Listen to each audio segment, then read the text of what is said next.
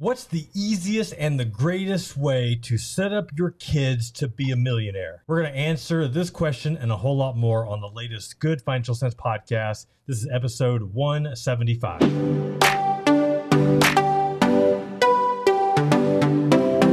What is going on, GFC fam and Wealth Hacker Nation? It is time to make your life more with your always cheerful, always grateful host, Jeff Rose. Now, as you all know, I typically, not always, but sometimes will answer one of your reader questions. And today, I don't necessarily have a very specific question that I'm answering because this is a question that I have received quite a bit in all different shapes, sizes, and flavors. What more famous to do than Baskin Robbins 31 flavors? There's a few that are really giving me some curiosity. This one, the pistachio almond the eggnog. L. But if you are interested in submitting a question on a future podcast, you can go to goodfinancialcents.com forward slash ask. And there you will see this nice contact form that you can submit your question, whatever that question may be. It could be on investing, financial planning, parenting. If you want to get parenting advice from me, I'm not sure why you would. I do have four kids, so I do have some experience. Online business, entrepreneurship, setting goals, productivity, whatever it is you can go to once again to goodfinancialcents.com forward slash ask and submit your question. So, what is today's question? What are we talking about here? We're talking about our favorite, and this is for parents. So, parents, this is for you if you have kids. So, what is this question? It has everything to do with something I have discussed before, talking about the Roth IRA. Now, I know, I get it. You're like, Jeff, you always talk about the Roth IRA, and Yes, that is that is true. I don't know how many podcasts I've dedicated this, but this is one is a bit different because if you have young kids, then setting up a Roth IRA for them by far I think is the one of the greatest gifts that you can give. Now, why is this such a great gift? I mean, there aren't a lot of things that you can do for your kids that can literally give them generational wealth. I, when I think of those type things, it's like maybe you set up a business. You know, think about the Walmart family, uh, the Walton family. You think about them. Uh, you could also set up a some sort of living trust that they can't set that up for themselves, but you can set up for them, and then basically protect their assets after you are gone, after you've left this earth. Like there are a lot of things that you can create today that can pass on to them and also p- pass on potentially to their kids, so your grandkids, even years after you're gone. But when it comes to the Roth IRA, there's just some confusion on how you do it. What are the rules? Um, I've had many people contact me that that want to create a Roth IRA for their kid, and they don't know how. Uh, they don't know the income restrictions, income limits, eh, what type of income. So that is some of the things I wanted to address on this podcast. Now, as always, whenever we're doing a podcast, whether it be for the, the actual podcast or the YouTube channel, I always want to have a resource, a text resource. So we do have all these articles on the blog that you can check out. We've got Roth IRA rules for minors. I've got a Roth IRA success story that you can read. Uh, but I believe this was from somebody somebody shared this story with me, which I which is beautiful story on how they did it. Uh, we've got other types of you know setting up saving accounts for your kids, how to invest for your kids. So we have all this ready for you on the blog. But let's talk about first things first, and this is probably the the biggest rule that you need to understand because you you might have great intention of setting up a Roth IRA for your child and like oh i just had my maybe just had a newborn. Maybe it's like they're three years old maybe they're four years old whatever age. Like oh man i want to i want to do this. Like that would be awesome. I would love to do that. Now the the first thing that you need to know and this is the, the big one is that they have to have some sort of earned income. They have to make money. Now go in your office and make some money. And we're not talking, I mean, it could be babysitting money, and we'll talk about that here in a second. It has to be some sort of, of earned income. It has to be something where basically the IRS knows about it. there has to be something reportable. So that means that, yes, could it be babysitting money? I mean, it could be, but then is whoever's paying the babysitter, are they reporting this, you know, on their taxes? Are you reporting this so that if you're let's say your your daughter is babysitting, she's making 10 bucks an hour, you know, is she paying 10% of that, whatever her tax rate would be, you know, paying taxes on that essentially. Because if it's all, think of it under under the table, so to speak, whether it be babysitting money, mowing lawns, washing cars, if it's any type of this type of income that you're just getting cash and you're not reporting it, then you cannot claim that as earned income and use that for the Roth IRA. So that that's a that's a big deal and many people they just they just don't know. So that's that's what I'm sharing with you today. Now, typically when I share this, I get a lot of questions about okay, well, how um, and maybe I should have said this at the top of the podcast, but you know, I've got four children.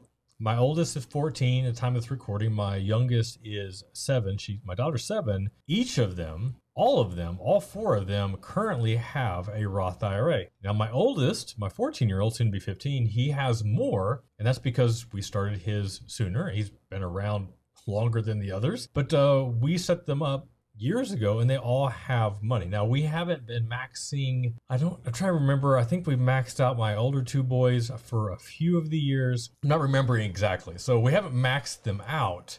So the question I typically get after I share the fact that you have to have earned income to be able to set up a, a Roth IRA for your kids. Like, how do I have Roth IRAs for my kids if I have to have reportable income? And the way that I have that is because with my business, the way I have it set up, they are employees of the business. And this is the online business.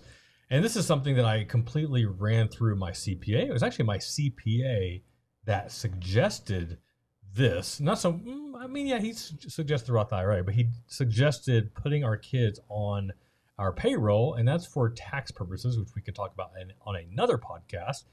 But after we set them up as employees on the business, then we they had reportable income, and we could then take some of that money and put that into Roth IRAs for them. And that's what we did. So I want to stress if you're going to do this, my CPA is the one that suggested this. If you're going to do this, make sure that you're working with a tax professional to get a second opinion. And one of the ways that we justified, uh, you know, because if we ever got audited, I think the IRS be like, okay, well, what do you, what are your kids doing? How, why, how, are, how can you justify that you're paying? I think our daughter was maybe five, five or six whenever we put her on our payroll. And the easy thing for us was because of the online business, because of how we use social media, how we use social media to kind of promote us, our brand, the, the blog, you know, we tie our family into a lot of that. So it's easy to say that, hey, they helped us out with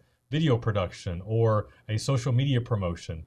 They also help clean, you know, dad's office, take out the trash. They used to shred a lot more. We don't have a lot of stuff to shred as much as we used to. But these are activities around the house, which, you know, I work from home. So the you know cleaning the windows, uh, cleaning the bathroom, like all, all these things. That's how we can say justify putting them on our payroll. So if you're going to do this, you know you, you got to have some something specific, some sort of task they are doing. If you have the ability to set them up on the business. Now, if you don't if you don't own a business, that might be a little bit more difficult. But that is usually the common way that people do it. So that's a little bit about how needing income to get it set up. Now let's talk a little bit about who owns the account. And that's also a, a big deal. And the reason being is if you think of a custodial account, which is probably the is one of the most common types of accounts that you can open if you are opening an account for your child, uh, meaning they haven't each reached the age of majority, uh, that they're still a minor. One of the accounts that you set up typically is called a custodial account. And a custodial account basically means that since they are a minor, they cannot legally take control of investing. You know, they don't have the uh, the mental mental capability, they don't have the experience. So you are acting on their behalf. So you open up a custodial account, and how that works is once the child reaches the age of 18 in most states, whenever they're legally an adult, then the child, now the adult, takes over. So the parent is in control of the funds it's not it's out of their hands it's still in the child's name but the child can't take control can't take ownership until they're 18 so essentially when you're opening a roth ira for your child you are setting up essentially what is called a custodial Roth IRA. Now, that is some firms have a different name, but that's essentially what you are setting up. So, one of you, mom or dad, has to be on the account. It, ha- it can only be one parent. I don't know if there's really any benefits having one versus the other. I know, like on our kids, I am the custodian just because I'm the one that had the idea to set it up. So I'm the custodian on each of my kids' accounts, and then their names are also on there. And, and that's essentially how it works. So whenever they turn the age of majority, I don't know why that's age of majority, just whenever they're adult, then they take over the account. And that's how that's how it works. You know, so they can't take any of the money out until then. Now, if there is a trade-off, I mean, if there is a drawback, it probably is just that, right? So whenever they're whenever my kids are 18, if they're listening to this, it's your money. So if you want to cash it out, they can. Now, it will be on them to pay any taxes if there is any gain on whatever we invested. So they'll they'll, they'll be on the hook for the tax bill. So that's good, right? Not not on me, not my responsibility. Uh, so it doesn't affect us. But uh, legally, if they want to cash it out and do with it what they please, that's on them. So you no longer have that control. And that is the exact same thing as the custodial account. So just keep that in mind. Now, another question that comes up, especially when you're dealing with minor children, is what about college? What about FAFSA? You know, if if we're putting all this money in the kid's name, if you're setting up a custodial account, like this could affect financial aid if this is a concern of yours. If it's not, then disregard. Now, the good thing about with the Roth IRA, since it's a retirement account, even though it's a custodial account, but since it's a retirement account, any any money that's inside of a retirement account does not affect when you, you basically you don't put this on the FAFSA. So it does not affect your financial aid, will not affect you qualifying for financial aid. So that is a, a big deal. Um, another kind of common question is, well, could you set up uh, one Roth IRA if you have multiple kids, and can you put have like a joint Roth IRA with multiple kids? And the the answer is no. One parent is a custodian. One minor, one child is on the account. If you want to set up multiple Roth IRAs, just like we did, uh, you'll have to have individual accounts for each of them. And you can determine how much you can put in. So, right now, at the time of this recording, you can put up, up to $6,000 per year into the Roth. Uh, you don't have to put in 6000 if you can only afford 50 100 500 whatever that is you can start whatever whatever you can afford you can start with now the final thing that i want to also share and this is definitely worth sharing is that just because you can set up a Roth IRA for your kids, let's say you do have a business and you do add them on the payroll and they do have earned income, and then you go to some sort of investment brokerage or investment app. We can talk about Robinhood, for example. Just because you qualify, not every investment brokerage, investment app offers Roth IRA for kids or custodial Roth IRAs. So you'll need to double check and make sure that that's something that they offer because there are, and I can't think of one top of my head. I, I know there was one because I was I was looking into it for my own kids. Like they offer Roth IRAs, so you can open up a Roth IRA with them, but they didn't offer custodial Roth IRAs. Now that may have changed. Like I said, I don't remember who this was, but you want to double check to make sure that they offer that option uh, some do, some don't. So it's just another good thing to know. But there's just something about setting up a Roth IRA. Now, let me say this, and this is my own, just just the final my my final two cents I would like to offer. If you have ambitions of setting up this Roth IRA for your kid or kids, and that's just something that you want to do, like I, that is awesome. Like I think that is great. The one thing that could be missing, especially if you have a fear potentially that they will take the money out. One thing that could be missing is giving them the gift of financial education and making sure that they fully understand to the best of their ability at that age how amazing this is. Start talking to them about investing. Start talking to them about compounding interest. Start talking to them about the difference of investing into individual stocks, mutual funds, ETFs, cryptocurrency start talking to them so that they understand. And i'm not ask i'm not asking you to quiz them. They, they don't need a mba on investing for the, for them to have a roth ira but the more that they know and the more they understand how powerful this gift is, this gift of having this tax free account that you have set up for them. And if they fully understand that whatever amount is going in, that that is going to grow because of compounding interest, that thing is going to grow to hundreds of thousands, maybe millions of dollars because you have started so soon, so much quicker than you did, so much quicker than I did. I mean, you have literally set them up for life as long as they stay committed, as long as they stay invested, as long as they don't cash out and run that risk of losing out on all of that compounding interest. So I love the fact that you want to do it. Make sure that after you do it, a little bit before, maybe during, and definitely afterwards, continue to have those conversations about investing so that they understand how amazing this gift is. So that is the last thing that I wanted to share.